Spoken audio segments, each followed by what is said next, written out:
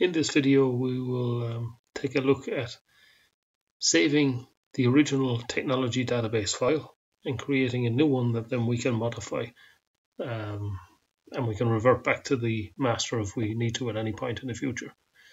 So to start with, you've got to open up SOLIDWORKS and load the SOLIDWORKS CAM module. When that's loaded, you can press the technology database, click on settings.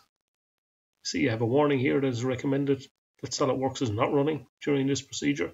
So close down your SOLIDWORKS and you're just left with the technology database open.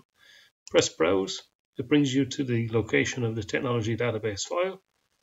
Right click, copy, right click, paste. We're going to change the name of this. Rename.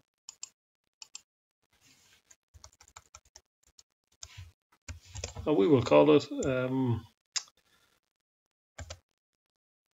MAN 3 for Manufacturing Technology 3.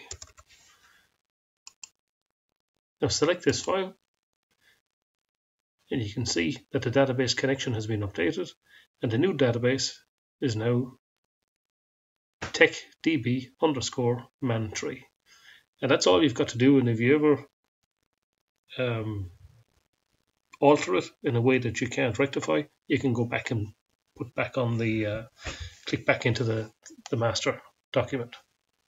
Thanks